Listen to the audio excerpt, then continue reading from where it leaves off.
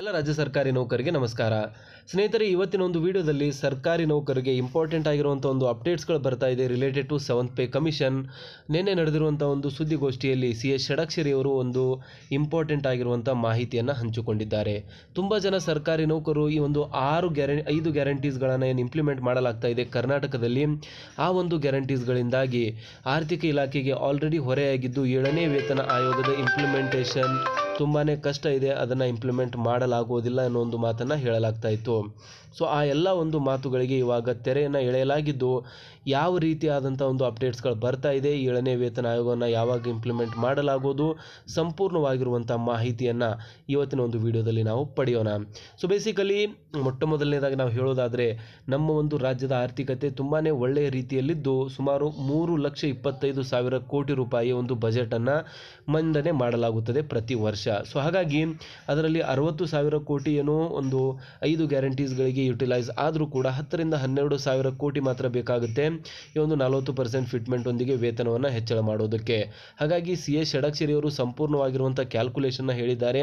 ಅದರ ಜೊತೆಗೇನೆ ಏಳನೇ ವೇತನ ಆಯೋಗದ ವರದಿ ಎಕ್ಸಾಕ್ಟ್ಲಿ ಯಾವಾಗ ಬರಲಿದೆ, ಅದಕ್ಕೆ ಕ್ಷಣಗಣನೆ ಆರಂಭವಾಗಿರುವಂಥದ್ರ ಬಗ್ಗೆ ಸಂಪೂರ್ಣವಾಗಿರುವಂಥ ಮಾಹಿತಿಯನ್ನು ಹಂಚಿಕೊಂಡಿದ್ದಾರೆ.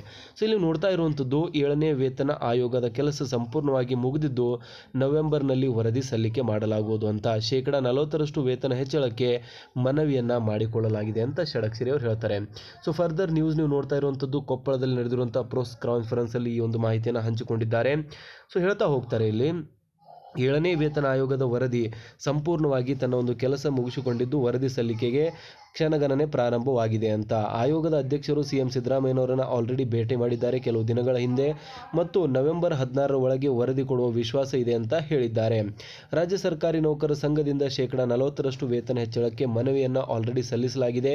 ಕೆಲವೊಂದಿಷ್ಟು ಮೀಟಿಂಗ್ಸ್ಗಳು ಮಲ್ಟಿಪಲ್ ಟೈಮ್ಸ್ ಮೀಟಿಂಗ್ಸ್ಗಳನ್ನು ಹೆಲ್ಡ್ ಮಾಡಲಾಗಿತ್ತು. ಏಳನೇ ವೇತನ ಸಮಿತಿ ಮತ್ತು ಕರ್ನಾಟಕ ರಾಜ್ಯ ಸರ್ಕಾರಿ ನೌಕರ ಸಂಘದ ನಡುವೆ. ಆ ಒಂದು ಸಮಯದಲ್ಲಿ ಬೇರೆ ಬೇರೆ ರಾಜ್ಯಗಳಲ್ಲಿ ಯಾವ ರೀತಿಯಾದಂತಹ ವೇತನಗಳನ್ನು ನೀಡಲಾಗ್ತಾ ಇದೆ? ಬೇರೆ ರಾಜ್ಯದಲ್ಲಿ ಯಾವಾಗಿನಿಂದ ಅದನ್ನು ಪೂರ್ವಾನ್ವಯವಾಗುವಂತೆ ಇಂಪ್ಲಿಮೆಂಟ್ ಮಾಡಲಾಗಿದೆ. ಫಾರ್ ಎಕ್ಸಾಂಪಲ್ ತೆಲಂಗಾಣದಲ್ಲಿ ಎರಡು ಸಾವಿರದ ಇಪ್ಪತ್ತರಲ್ಲಿ ಮಾಡಿದ್ದಾರೆ. ಕೇರಳದಲ್ಲಿ ಎರಡು ಸಾವಿರದ ಹತ್ತೊಂಬತ್ತು ಮತ್ತು ಕೇಂದ್ರ ಸರ್ಕಾರ ಎರಡು ಸಾವಿರದ ಹದಿನಾರರಲ್ಲಿ ಏಳನೇ ವೇತನ ಆಯೋಗವನ್ನು ಇಂಪ್ಲಿಮೆಂಟ್ ಮಾಡಿದಂಥದ್ದು. ಎಲ್ಲವುದರ ಬಗ್ಗೆ ಮನವರಿಕೆಯನ್ನು ಮಾಡಿಕೊಡಲಾಗಿದೆ. ಹಾಗಾಗಿ ನಮ್ಮ ಒಂದು ರಾಜ್ಯದಲ್ಲಿ ಮಾತ್ರ ಇದು ನೇಣಿಗುದಿಗೆ ಬಿದ್ದಿರುವಂಥದ್ದು. ಇದನ್ನು ಆದಷ್ಟು ಬೇಗ ಇಂಪ್ಲಿಮೆಂಟ್ ಮಾಡಬೇಕು ಅಂತ ಹೇಳಿದ್ದಾರೆ. ಸೊ ಇನ್ನು ಗ್ಯಾರಂಟೀಸ್ಗಳ ಬಗ್ಗೆ ಬರೋದಾದರೆ ಸುದ್ದಿಗಾರರೊಂದಿಗೆ ಮಾತನಾಡಿದಂಥ ಅವರು, ಫರ್ದರ್ ಹೇಳ್ತಾ ಹೋಗ್ತಾರೆ, ಸರ್ಕಾರದ ಗ್ಯಾರಂಟೀಸ್ಗಳಲ್ಲಿ ಸರ್ಕಾರಿ ನೌಕರಿಗೆ ವೇತನದ ಸಮಸ್ಯೆ ಯಾವುದೇ ರೀತಿಯಾಗಿ ಆಗಲ್ಲ ಅಂತ ಹೇಳ್ತಿದ್ದಾರೆ. ಏನಕ್ಕಂದರೆ, ಸರ್ಕಾರ ಆಲ್ರೆಡಿ ಮಧ್ಯಂತರ ಪರಿಹಾರವನ್ನು ನೀಡಿದೆ ನಮಗೆ ಶೇಕಡ ಹದಿನೇಳರಷ್ಟು. ರಾಜ್ಯದ ಬಜೆಟ್ ಇದೆ ಮೂರು ಲಕ್ಷ ಇಪ್ಪತ್ತೈದು ಸಾವಿರ. ಸರ್ಕಾರಿ ನೌಕರರ ವೇತನ ದೊಡ್ಡ ಮೊತ್ತನ ಅಲ್ಲೇ ಅಲ್ಲ ಅಂತ ಹೇಳ್ತಿದ್ದಾರೆ. ಏನು ಹತ್ತರಿಂದ ಹನ್ನೆರಡು ಸಾವಿರ ಕೋಟಿ ಇದೆ. ಇದು ಹಣಕಾಸು ಇಲಾಖೆಗೆ ದೊಡ್ಡ ಮೊತ್ತ ಅಲ್ಲವೇ ಅಲ್ಲ ಅನ್ನೋ ಒಂದು ಮಾತನ್ನು ತುಂಬ ಕ್ಲಿಯರ್ ಆಗಿ ಇಲ್ಲಿ ತಿಳಿಸ್ತಿದ್ದಾರೆ.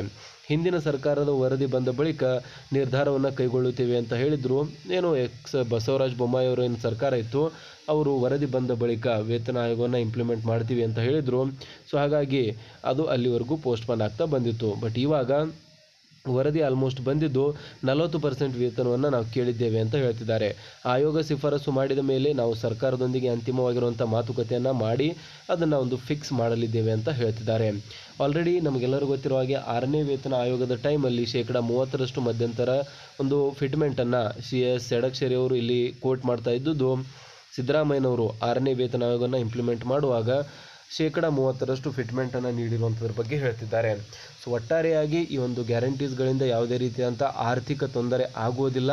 ಏನಕ್ಕಂದರೆ ಮೂರು ಲಕ್ಷ ಇಪ್ಪತ್ತೈದು ಸಾವಿರ ಕೋಟಿಯ ಬಜೆಟ್ ನಮ್ಮ ಒಂದು ರಾಜ್ಯ ಮಾಡುತ್ತೆ. ಸೊ ಇದ್ರ ಬಗ್ಗೆ ನಿಮಗೇನು ಅನಿಸುತ್ತೆ ದಯವಿಟ್ಟು ಕಮೆಂಟಲ್ಲಿ ತಿಳಿಸಿ. ವಿಡಿಯೋ ಒಳಗೆ ಸೇರಿ ಖಂಡಿತವಾಗೂ ಲೈಕ್ ಮಾಡಿ ಚಾನಲ್ನ ಸಬ್ಸ್ಕ್ರೈಬ್ ಮಾಡ್ಕೊಳ್ಳಿ.